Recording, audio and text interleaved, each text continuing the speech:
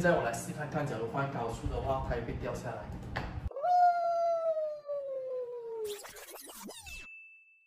？Hello，大家好，我是 We，今天我要来开箱实测这个小米机器人 EC。这个小米机器人它有添加一个新的功能，它不只可以扫地，而且它可以抹地。它还有一个功能，就是它可以 scan 完你这个家，然后它确保你的家里每一个角落都是很干净，这样它就会节省了很多很多时间咯。它的价格我觉得其实还蛮实惠的。现在我来测试这个机器，Let's go。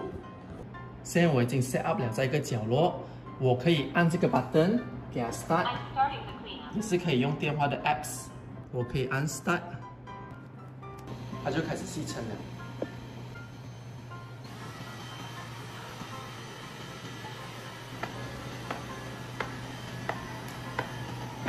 诶，角落装了东西，它就会转回去的。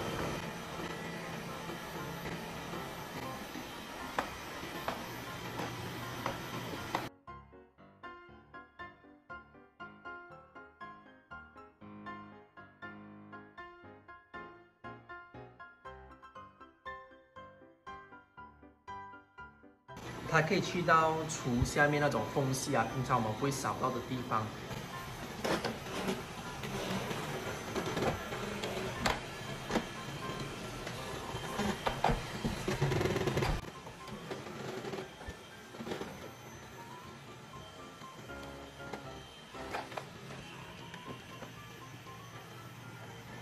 OK，假如是挖牙的话，就要收好了，因为它会卡到挖牙。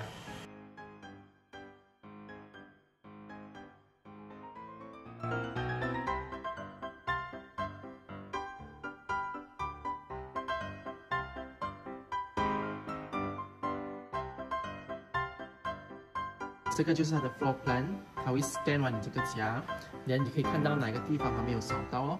然后这个就是它 charging 的地方。OK，这个就是它里面的功能。假如是 silent 的话，就没有这么吵咯。最高是可以去到 double，它的吸力就比较强，for 吸尘。可是假如是 water level 的话，就是 low 就是出水量就最少咯，for 抹地。high 的话，它的出水量就越多。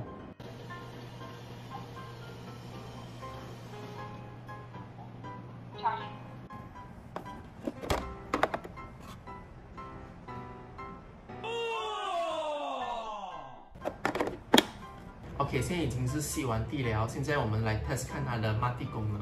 假如要抹地的话，你就按这两边，这边是加水。现在我们来试看它的抹地功能。这个加水的话是开这边，然后倒进个洞，这个水开一点就可以了。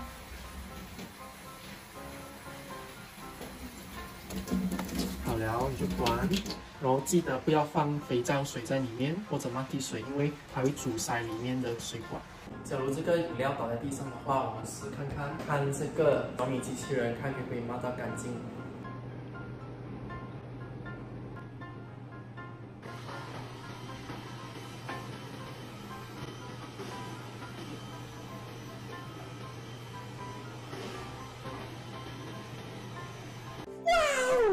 现在我来试看看，假如换高速的话，它会不会掉下来？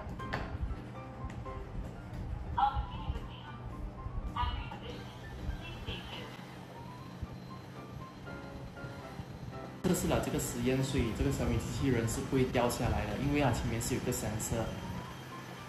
现在我们就来测试看这个饼干碎，看它的表现如何。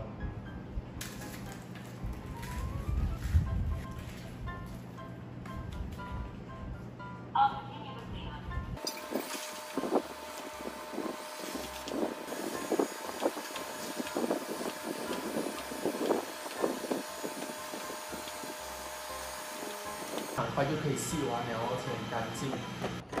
Overall，我觉得这个小米机器人是很好用的。第一，它是可以吸到很小很小的灰尘哦。第二，你可以 set 早上七点和晚上七点都可以，就给它做工哦，它就自动去吸尘啊，它会自己回去 charging 的区域。第三呢，就是第三是什么？第三呢，最重要就是还可以扫地和抹地咯，这样你就不需要要多一个工去抹地。再来就是讲它的坏处了，就是假如你要它来使用的话，你一定要把你的 cable 啊、wire 啊那些收好来，因为它最大的敌人，我觉得就是那个 cable，因为它卡大的轮上。假如你喜欢我的影片的话，你可以 subscribe、like 跟 following us，跟 following us。经过多次人解跟，follow 我的 Instagram，我们下个影片见，看。